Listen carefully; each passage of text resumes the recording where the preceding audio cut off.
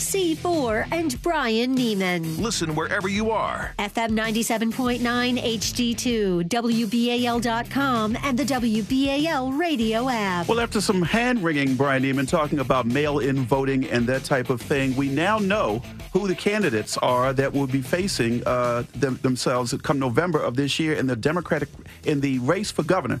Joining us right now is one of those candidates, Republican Dan Cox is on that side. Wes Moore, the Democratic candidate for governor, joins us right now. First, congratulations to you, Wes Moore.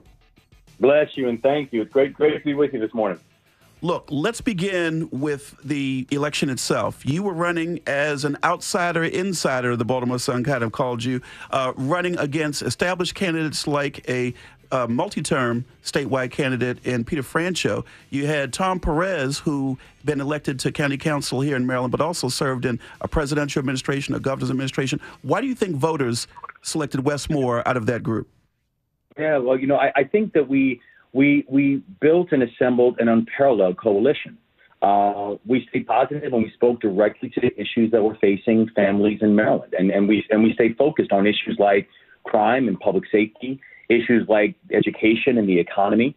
And, and, and I think that people understood that we didn't just have the, uh, you know, not just the, the professional experience to lead in this moment. You know, the fact that I led soldiers in combat, the fact that I led a, a successful small business here in in, uh, in, in Maryland, the fact that uh, the fact that I, I led one of the largest poverty fighting organizations in the country.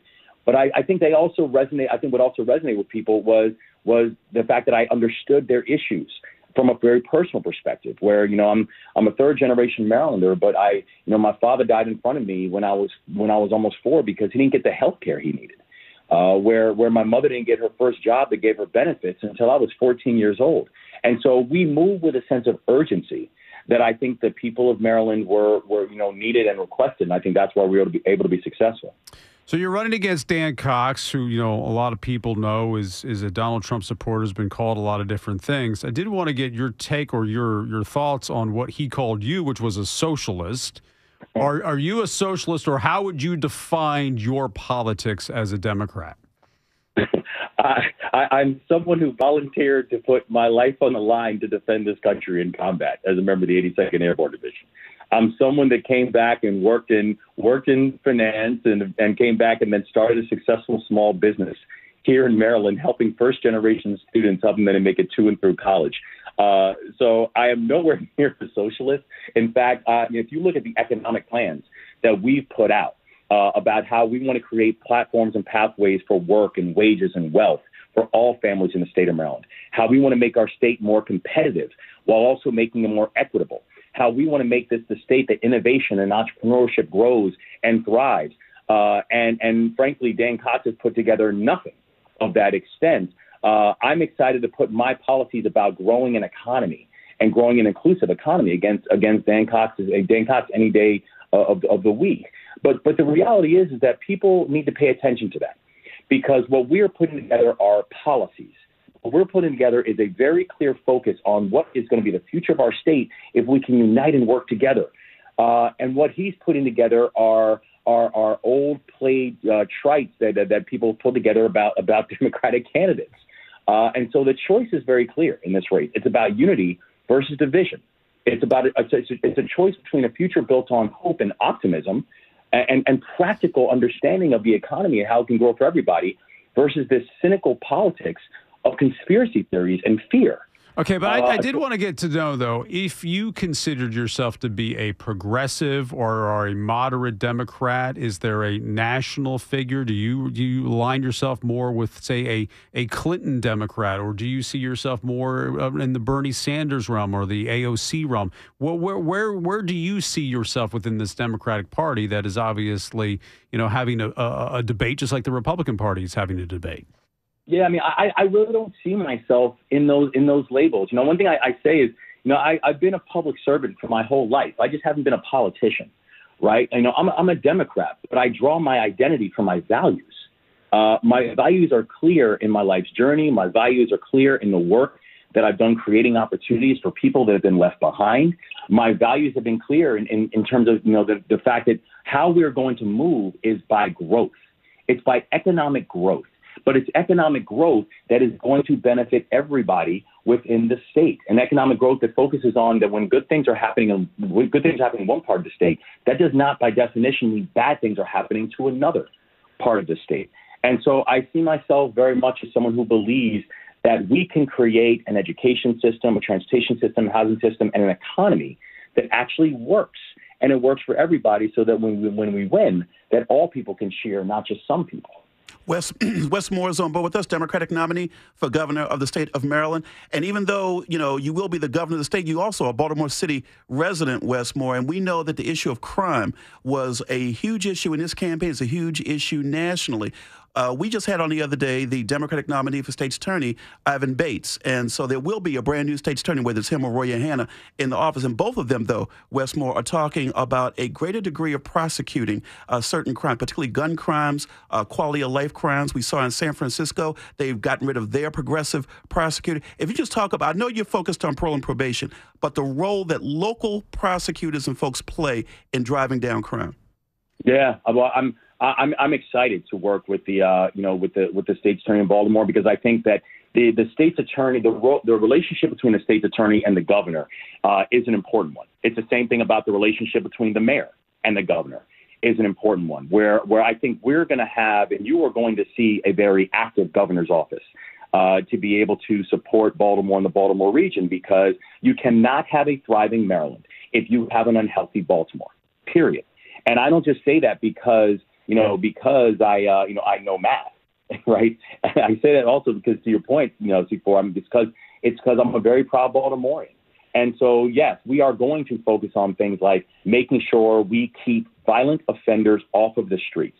And, and it's part of the reason that I believe that we have to focus on things like parole and probation because we are seeing that so many, uh, you know, we see so many of the violent crime and so much of the violent crime that's taking place in Baltimore is by people who are in violation of parole and probation. And that's also a statewide dynamic that we are going to focus on getting these illegal guns off of our streets. And these illegal guns that continue to flood in from other states that end up in our neighborhoods and our communities. And that's where I think the state can play an important role in partnership, both with the state attorney, but then also with federal officials and with ATF, et cetera, to be able to make sure that we're, we are stopping this flow of illegal guns that end up in our streets and that we can have resources, state resources, that can be put uh, in, that can be put in communities like Baltimore. So, for example, you have resources like CID, the criminal investigation detectives, that you could actually put them on loan to the homicide detectives over in the city of Baltimore. Right now, the city of Baltimore has a 41% closure rate for homicides. That means if a person commits a homicide, they have a better chance of getting away with it than they do of actually getting caught, captured, tried, and convicted, right?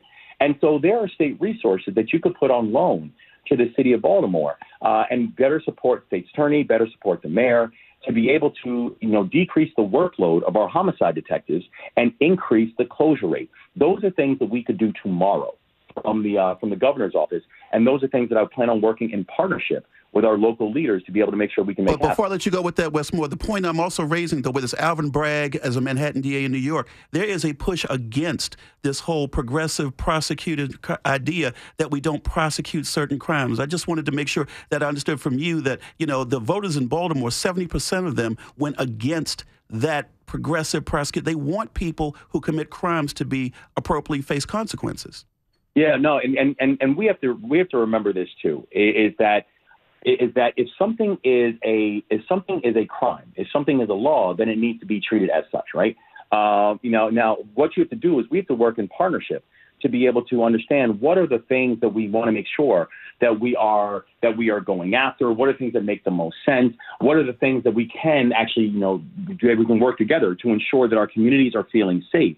But but I also don't understand the idea that if something if something is is a is a is a law we have to make sure that these things are actually enforced. Uh, and so we are going to work in partnership with our local officials to ensure that particularly violent offenders uh, that they do not end up back on our streets and continue to commit violent crimes inside of our neighborhoods. We cannot tolerate that. So the economy, we had a second quarter of of negative growth. Just came in. um, which technically is a is a recession. But h- how we're sitting on almost eight billion dollars or over seven billion dollars of surplus money. How would you describe the economy in Maryland, and, and what do you see as as the number one priority when it comes to spending, especially with that you know that boatload of money that, that the state is sitting on right now? Yeah, I, I think we need to be clear about that. This isn't about what or how are we going to spend. Uh, this is about how are we going to invest, right? And how are we going to invest in a way that can produce the largest societal return on that investment? You know, when I was CEO of one of the largest poverty fighting organizations in this country, you know, one of the things I was most proud of it wasn't just the fact that we you know, invested hundreds of millions of dollars into communities to focus on things that worked. But it really was about we, we would find what works, we would fund it, and then we would scale it, right? It's a very simple equation. Find it, fund it, scale it. And, and when you look at what we're able to invest in, we were also very transparent about how you could come up with the largest societal return on those things. We had a whole matrix around it called it the benefit to cost ratio, right? Um, well, we need to make sure that our that government resources are doing the same thing. That we can be transparent about what we're investing in and ensuring that it has a, the highest level of societal return. And so when I think about things like that, it means we are going to invest in things like fixing a broken childcare system. And a broken childcare system, when you consider the fact that over 800 child centers have closed in the state of Maryland since COVID, uh, since COVID hit. Why that's important is this: there's no greater way of getting people back into the workforce than fixing childcare and particularly when it comes to female workers. And also, let's not let's not forget about the fact that the majority of childcare workers are female entrepreneurs, but they are never treated as such. So we've got to be able to do that. We've got to be able to focus on job reskilling and job retraining and getting people prepared for the jobs of now and for the jobs of tomorrow. Right now in the state of Maryland, we have two available jobs for every one person filing for unemployment. And people say, well, how does that make sense? It makes sense because we have jobs that are available, but we have people who are not skilled to take them on. Mm. And when Maryland has a dynamic economy, has growth industries, we have to make sure we're preparing our children and our workers for those growth industries. And so this is what how this is when we say we are going to not just spend. I'm not interested in spending. I'm interested in investing investing in things like transportation, investing in things like uh, in things like job training and job reskilling, investing in things like apprenticeship and trade programs, so we can actually really properly prepare our children for for these roles that are available now.